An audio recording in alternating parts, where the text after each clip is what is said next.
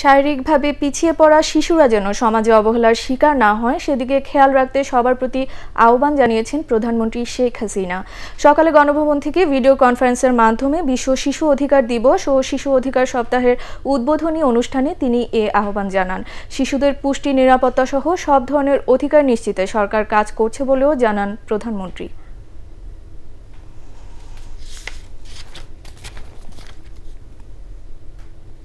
সমস্ত বাবা মাকে বা গার্জেনদের বলব, আপনারা অন্তত পক্ষে এই করোনা ভাইরাস যেহেতু স্কুলে যেতে পারছে না, কিন্তু বাচ্চাদের অন্তত কাছাকাছি কোনো পার্কে বা কোথাও আপনার বাচ্চাদের অন্তত দিনে এক ঘণ্টার জন্য হলেও তাদেরকে একটু নিয়ে যাবেন, ছোটাছুটি করা, খেলাধুলা সেগুলি যেন তারা করতে পারে সেই সুযোগটা সৃষ্টি করে দেওয়া দরকার আমি মনে করি।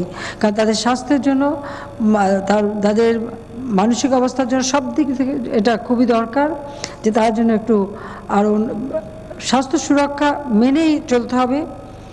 কিন্তু সাথে সাথে একটু বাচ্চাদের খেলাধুলার ব্যবস্থা করা বা তাদেরকে একটু খোলা বাতাসে নিয়ে যাওয়া বা একটু রোদে খেলতে দেওয়া, এটা এই করোনা ভাইরাসের জন্য সব থেকে বেশি গুরুত্বপূর্ণ আমি মনে করি।